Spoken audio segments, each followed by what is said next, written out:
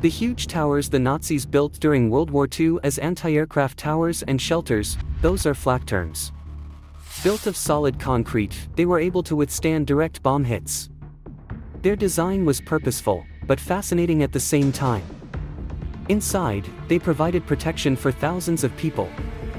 Today, they stand as monuments to a dark past and witnesses to historic design.